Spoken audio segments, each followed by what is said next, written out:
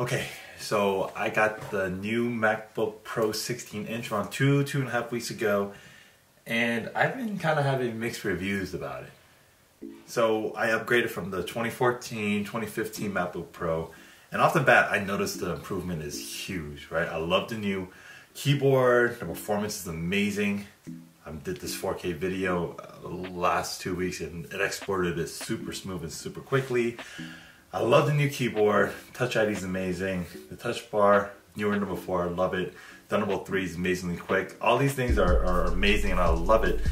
But I don't know if it's my computer, but some things are like happening with this computer that I don't know if it's just mine or you guys that have it are experiencing the same thing.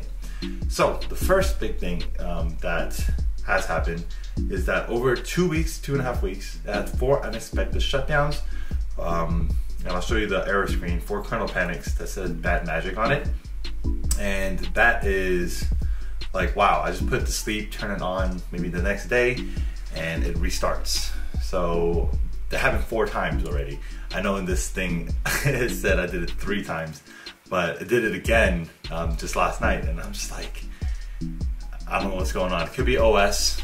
I'm currently downloading 10.15.2 um, as we speak. So fans are a little loud on that guy because it is installing. So that's one thing. The second thing is that we're talking about fan noise.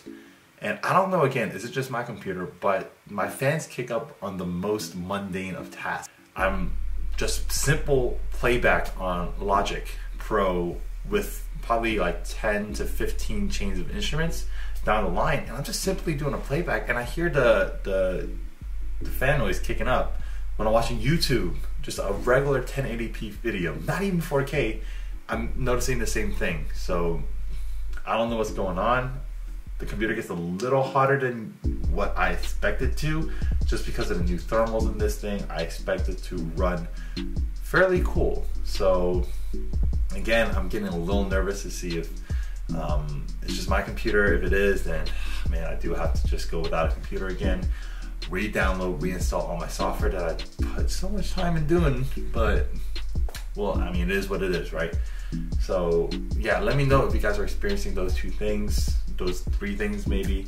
Uh, but yeah, those are kind of the things. If you guys are experiencing the same thing, please let me know.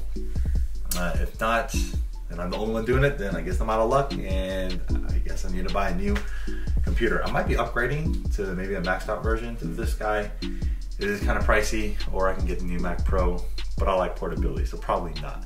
But, nah, I'm not gonna do it. Anyways, again, thanks for watching. Thanks for hearing my rant. Again, hopefully everything is okay as soon as 15.2 has installed. Thanks for watching. If you guys like more content, like, subscribe, follow me on Instagram at JP Lives number two Pete. Thank you guys.